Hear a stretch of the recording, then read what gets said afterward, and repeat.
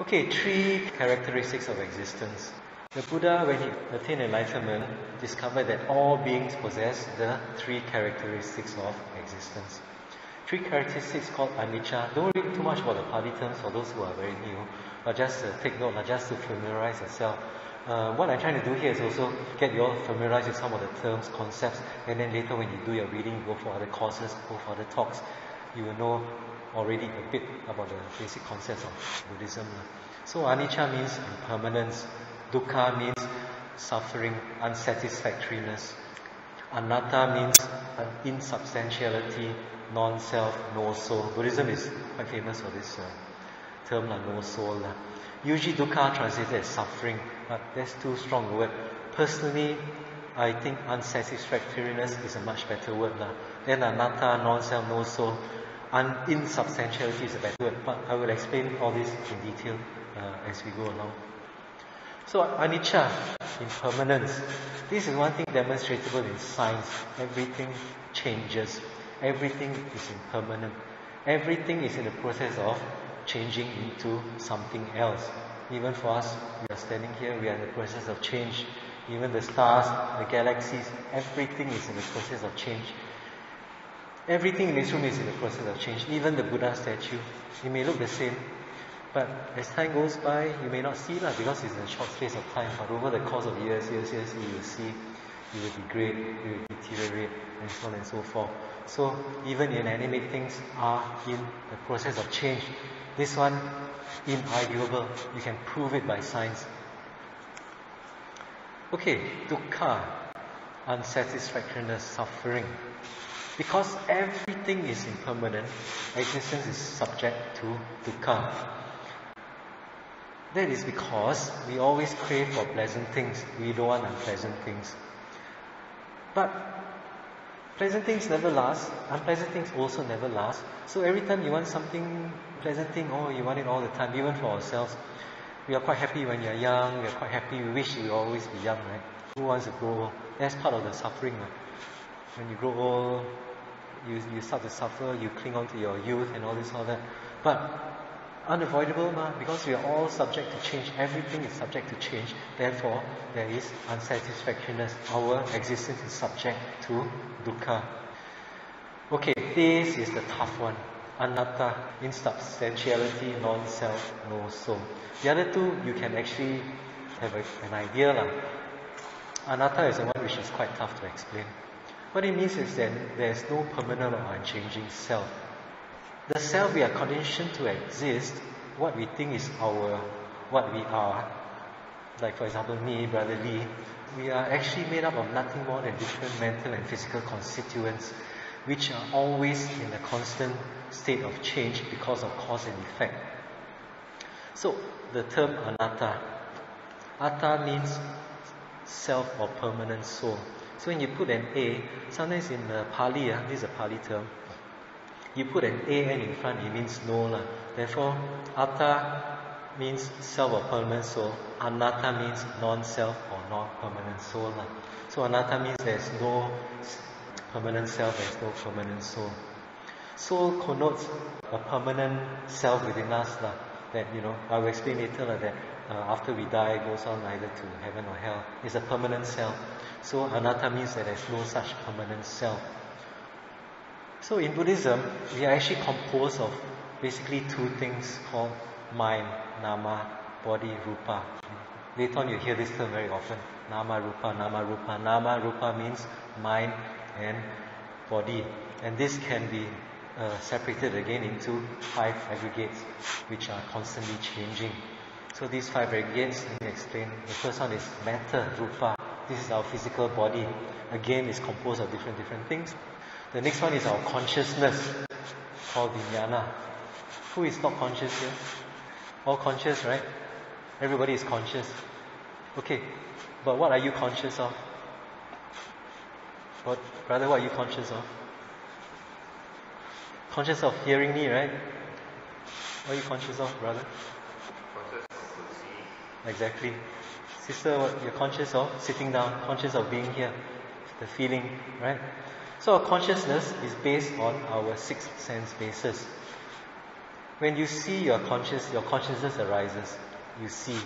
When you hear your consciousness, your hearing consciousness arises, you hear. When you think of something, your mind consciousness arises. The consciousness arises only one at a time. That means you see, you hear, you think, you touch, you taste, you feel. It's actually only one at a time. But because we cannot see clearly, we think it's, we are hearing, seeing all at the same time. But it's actually not. It's actually happening so fast that when you see, you hear, it's all different, different consciousness arising and passing away at the same time. This is what we mean by consciousness. You have eye consciousness, ear consciousness. When something comes to your attention, your consciousness will arise.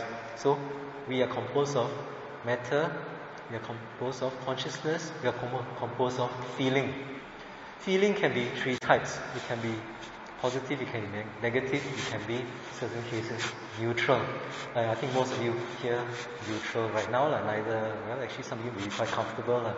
You sit on the, on the floor, you don't sit on the chair, then you get the negative feelings, pain, lah, aching, lah, uncomfortable, can't wait for the lesson to end, all the negative feelings.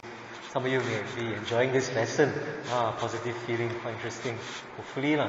So feelings also part of our makeup. There's always, no matter how, there will always be pleasant feeling, unpleasant feeling, and occasionally neutral feeling for everything you see, you hear, you touch. Sure, one of these feelings will arise. Mental formations, sankhara, these are our mental states. In other words, anger, hatred, compassion, frustration, irritation, enjoyment, things like that. Huh? So these are our mental states which from which karma arises. Because as you like something, you enjoy it, you want more. So there's a greed arising. You don't like something, aversion arises. So this is the mental states. When you eat something, wow, this one too hot, not nice, so you push it away. That's a mental state, aversion. And then karma arises. When you scold somebody, you're angry, karma arises. When you do something good, you make a donation, you have generosity, karma arises also. So this is karma. The other one is perception. Perception means generally our memories. That means how we perceive things. Like for example, you never come to this temple before. After you come, oh, you have quite good memories. This temple is quite nice. The course is quite nice, quite good. Like the first lesson, I some of my friends come and take a look. Hey, this temple is very nice good for teachings. So when they go back, they have this memory of this temple. So this is the perception of the temple. So in Buddhism, or what the Buddha discovered, is we are composed of only these things. Uh. We are composed of our body, our consciousness, our feelings, our mental formations, our perceptions. Nothing more than that. These are only the things which we are composed of. Then I go on to something called conventional ultimate reality two types of reality in Buddhism. One called conventional, one called ultimate. How come reality got two types of reality? Reality is reality, right? There can only be one type of reality. But how come Buddhism breaks reality up into two types of reality? Conventional and ultimate reality. Okay, what's the difference? Conventional reality means we are distinct and identifiable entities. I'm Brother Lee. This is a table Ultimate reality, we are no more than concepts or fabrications. Conventional reality, I'm Brother Lee. Ultimate reality, I'm only the five aggregates, nothing more than that. Conventional reality, this is a table. But ultimate reality is a piece of wood with four legs. If you take out one of the legs and the table drops, is it a table or not? It's a broken table, but you can't properly call it a table because the function of a table is to put things on there. But if a table is broken and you can't put things on, it's no longer a table. Man. Do you see what I mean? So in ultimate reality, this is a piece of wood with four legs. I'm a person who is composed only of five aggregates. Okay, let me try to give you an example. Real life example. Brother, may I borrow you? Brother James, come. Worry. Please, uh, Brother James, thanks for your support. Don't worry, I won't do anything to hurt you. Okay, Brother James. Conventional reality, Brother James. Ultimate reality, Brother James is a body, different parts of the mind, all his stomach, skin, bones, liver, heart, so on and so forth. Everything, Brother James. Right? So James, the conventional reality is Brother James. Ultimate reality is composed of many, many, many different parts. mind and matter. Correct? Okay, I'll ask you one thing. The brother James that sit there and the brother James that stand here, is it the same brother James? Who say yes? Sister? Okay, who say no? You say no? Not the same brother James. You say not the same brother James. Sister? Not the same. Brother? You say the same? Brother? Same brother James. Not sure. Sister, any idea? Is it the same brother James that was sitting there and is it the same brother James standing here? Sister? Same. Okay. I prove to you it's an entirely different brother James. The minute brother James sit there the minute brother James stand here, millions of cells in his body has perished and new ones regenerated. So even though he looks the same, he's a different brother James. Millions of cells, literally his blood, his bones, his flesh, everything has changed. Right? He sit there and he stand there. How many minutes have passed? Two minutes, three minutes. Brother James has aged over the last two or three minutes. He has grown older the last two and three minutes. Alright? So this process goes on when you're young up to now when you're old. It's only that we can't see it. We think it's the same brother James, but it's not the same brother James. It's a different brother James because something in him has changed. Secondly, his mind. Five gifts, right? His mind, his perceptions, his feelings, his thoughts. Just now Brother James sit there. Does he have a memory of standing here? No, right? Now he has a memory of standing here, right? So he has a new memory, right? So he's changed, right? His mind, his mental state has changed, right? And then before he think, oh, Brother Lee, okay, la, nice guy. La. Now he think, what oh, is Brother Lee? Don't know what the hell he's doing. So his perception of me has changed. His feeling has changed. So I prove to you, sitting there and standing here, he's not the same Brother James. His body has changed, his mind has changed. Thank you, Brother James. And the person sitting there again, isn't it a different Brother James? And the person going back home later, meet your wife, isn't it a different Brother James? And the person tomorrow, in five years, ten years, isn't it a different Brother James? So all of you, all of us, when we are young, teenager, different. Different thoughts, different perceptions, how we view things different. Our body also totally different. Now I'm almost 50. Don't like, right? Okay, I'm joking. Anyway, so now I'm almost 50. So when I'm a teen, different. 20 years old, 30 years old, 40, different. Now different. When I grow old, 70, 60, hopefully I live to that long. Different again. So, we are no more than concepts or fabrications. Right? That means we think that Brother James is Brother James, but actually it's only a concept. Brother James is no more than a concept, it's no more than a fabrication. But we need this conventional reality for our daily life. We can't say Brother James 10 years ago or the Brother James 5 minutes ago. Those who say the same Brother James is correct in conventional reality. In conventional reality, it's the same Brother James. But in ultimate reality, it is not the same Brother James. He has changed. So therefore, in ultimate reality, Brother James is only a concept. Do, do you see what I mean? So this is the meaning of anatta. There's actually no permanent self. I've just shown you there's no such thing as a permanent self. If you want to see even your soul, if let's say people who claim you have a soul, is the soul part of you or not? Even if the soul, if the soul is part of you, it has to change, right? If the soul is part of you, it also has feelings, it also has feelings, it also has memories. So therefore the soul, the soul also changes. Correct? And if the soul doesn't change, then it's not a part of you, it's no more, no much more than a block of wood. So therefore, anatta means there's no permanent soul, there's no permanent entity. That's why I like to use the word insubstantiality. Brother James, you and I, everything is in ultimate reality, we are insubstantial. Substantial means something permanent which doesn't change. Insubstantial means something which does not have real substance. And if something always changes, well, it doesn't have real substance. Right? So as I mentioned, in conventional reality, we exist as an individual with, with a name. But ultimately, we are composed of different physical parts which make up our body and the various aspects of our feelings, our memories, as I demonstrated to you just now. So, our body and mind are in a constant state of change. Millions of cells die and are replaced every second. Just pick up any science book, you can verify this for yourself.